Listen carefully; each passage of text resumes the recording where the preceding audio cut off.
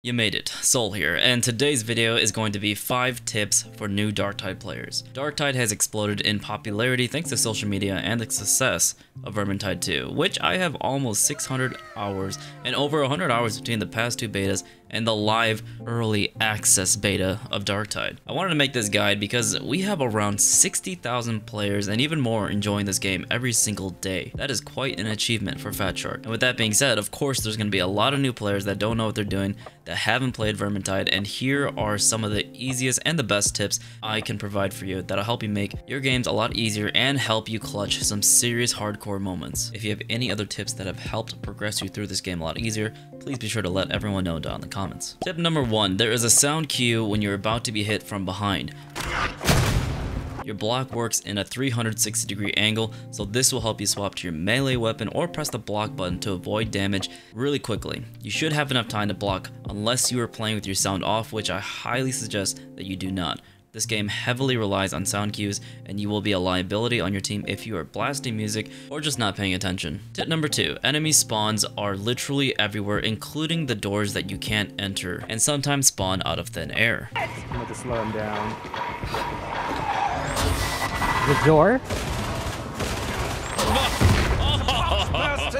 That's, that's intended. This means that you need to proactively swap your weapons back and forth and always be looking behind you after using your gun for a short time. This tip is heavily for the veteran sharpshooters and the psykinetics because most of their attacks are range and that's where they're most effective. A lot of people seem to be hating on the veteran sharpshooters right now because they take all the ammo and they just sit in the back and shoot, while it's always taking damage from behind and dying in the back. So, unless you like to lose toughness and your health, it's better to keep swapping weapons from time to time and always looking behind you and looking out for your teammates too. Usually the people that die the fastest are the ones who charge in or the ones always in the rear because you know what I say, those who stay in the rear take it in the rear. Tip number 3. Reloading has multiple parts. If you're able to reload one third or two thirds of your weapon during the animations, the next time you swap weapons, it will continue where you left off. Very powerful during downtime in the midst of a horde because there's always going to be a special that comes up from behind you and any of the doors that you see next to you. Tip number four is learning efficient melee inputs. I know a lot of people just like to swing their attacks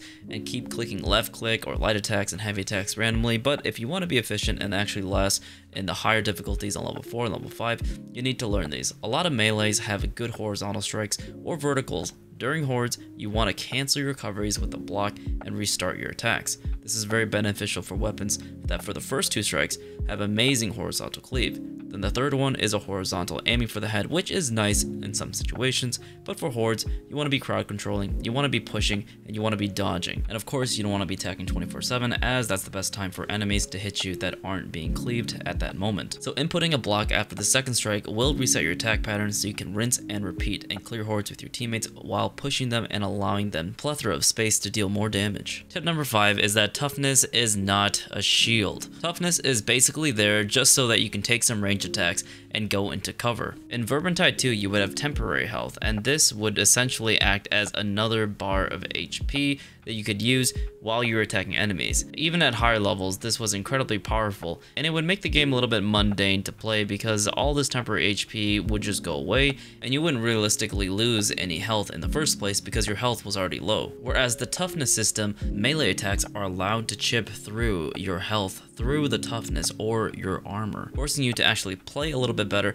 and not mindlessly take damage. Since the addition of so many ranged units, toughness is basically a safety measure so that you don't have to take too much range damage, but it also help you learn to use your second head. And we have one more notable mention that I think will help a lot of players out, and that is learning specific sound cues for certain specials. Now obviously we know the mutant who literally is screaming on the top of his lungs and running from miles away. You can hear him and you can see him when he comes. The only issue is that when there's three of them, that is a big problem. These two are really no issues when it comes to sound cues and distinguishing where they are in the map. Bombers are a different story, and I think these are one of the most dangerous characters in the game because of how much crowd control they actually do. Because if you're in the middle of a fire, they will take all of your toughness away. And I'm sure many of you have heard, but when the scab bomber decides to unpin his grenade, you will hear the ping, and as soon as you hear the ping, you should expect the grenade to land at your feet. This ping is actually very loud, and as soon as you hear it, you need to look for him right away.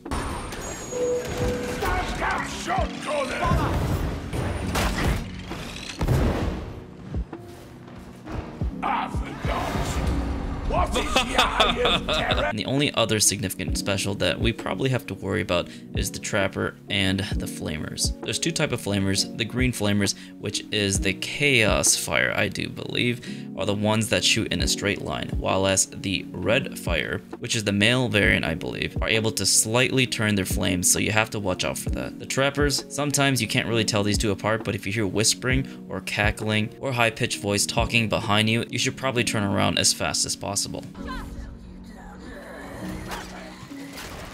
And you made it to the end of the video. I hope these tips did help you in some way, and if it did, the Omnissiah favors you. If there's any other helpful tips you'd like to give, be sure to put them down below as these are fairly broad and for new players, the ones that I've given. So if you have in-depth ones, that would be great. Perhaps I'll make an in-depth guide as I'm closing up to way more hours than I should have in this game, but the game will officially be released soon, so you'll have that to look forward to. Thanks for watching, as always everyone, and more Darktide coming soon. Bye bye. See later.